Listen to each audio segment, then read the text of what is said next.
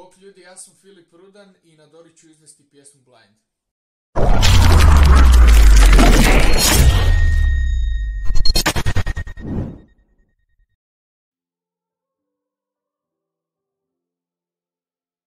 Sebe bi mogao pisati kao šaljivu, kreativnu i zabavnu osobu.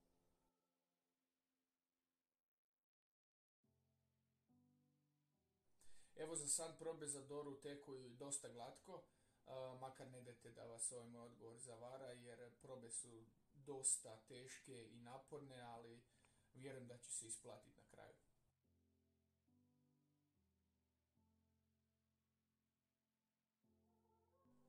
Pjesma Blind je zapravo iskustvo koje svi proživljavamo u jednom momentu života. Ovoga, puno truda, onako blood, sweat and tears je uloženo tu pjesmu i evo, nadam se da će vam se svidjeti.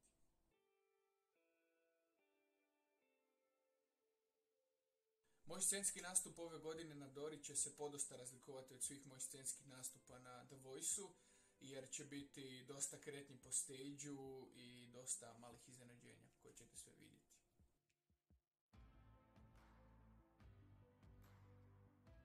Zapravo imam dvije najdraže pjesme s Dore.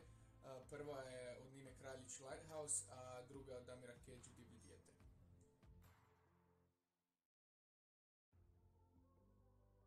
A najdraža eurovizijska pjesma ove nove ere je Duncan Lawrence Arcade.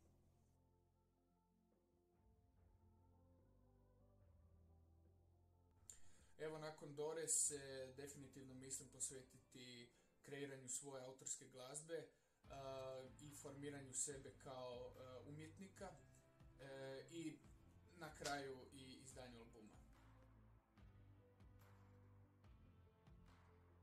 I evo za kraj, hvala svima što ste gledali ovaj moj intervju.